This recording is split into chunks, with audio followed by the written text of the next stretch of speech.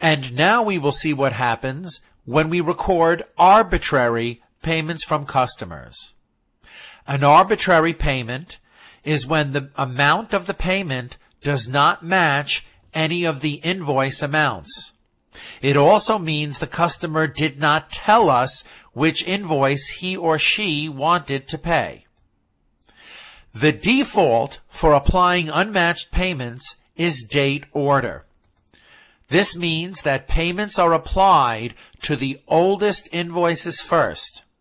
Any remainder gets applied to the next oldest invoice. For example, imagine on January 20, we received only $1,000 from Betty with check number 5678. Betty did not tell us what invoice she would like this payment to be applied to. However, there is no exact match of $1,000 for any of the invoices that Betty owes us. When we take a look at the open invoice section just for Betty, we see that the oldest invoice has a balance of $1,400.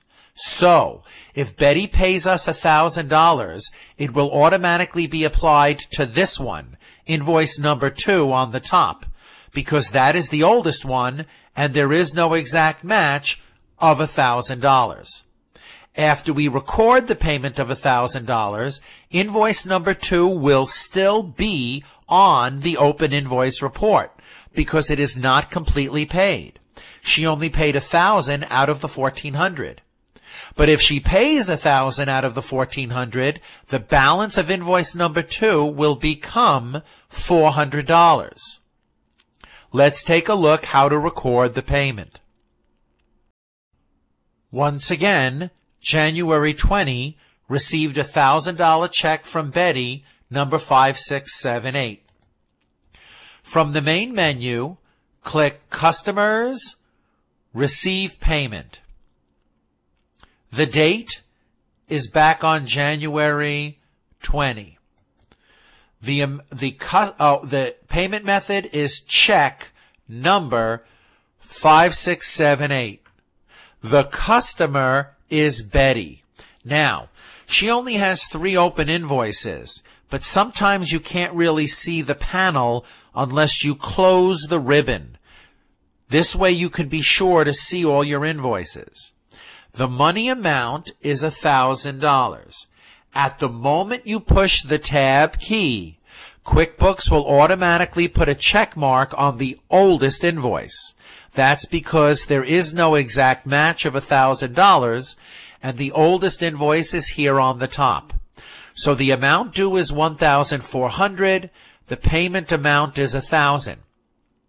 When we click Save and Close, we can see the open invoice report for Betty now shows that invoice number two is still open, but only $400 remains unpaid.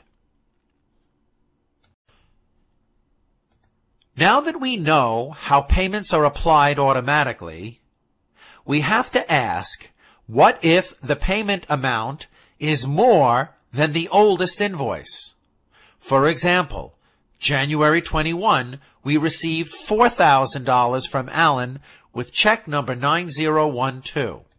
Well, in Alan's case, the oldest one is only $3,000. The oldest one will disappear from the open invoice report because it will be completely paid off. The next oldest one will decrease by the amount of excess.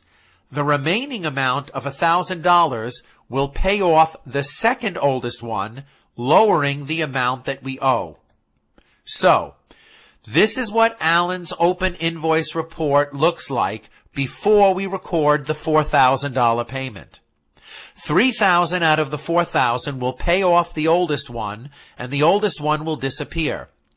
The excess remainder of a thousand will be applied to the next oldest one, and it will change from $3,900 to $2,900 unpaid. And this is what the open invoice report will look like for Alan after we record that payment. Once again, January 21 received 4000 from Alan with check number 9012. From the main menu, we will click Customers, Receive Payment. Of course, the method is check, check number 9012. The date is January 21. The customer is Alan.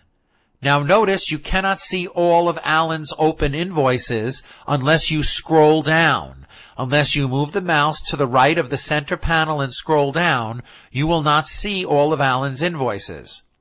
You might not have to scroll down if you close the ribbon and you open up the panel because you will have more space. Now, we will type in the money amount, 4000. Look what happens at the moment we push the tab key. Notice two check marks appear. The check mark here completely pays off the first invoice and puts $3,000 in the row of invoice number one. The remaining excess of $1,000 you can see clearly is applied to invoice number five. So this one is paid off, it'll disappear, and 3,900 becomes 2,900 because the excess of 1,000 is applied. When we click Save and Close and we look at the open invoice for Alan, we see now Alan only has three open invoices. The top one for 3000 has disappeared, and the second oldest one you can see has decreased to $2,900. Let's finish this video by putting the Receive Payment window into the icon bar. From the main menu, click Customers, Receive Payment. You can see Receive Payment is now the active window. So again move to the top left of the main menu and click View, add Receive Payments to the icon bar, and of course when we click OK, the payment icon is there. Now we can open it up without having to remember where it is in the main menu.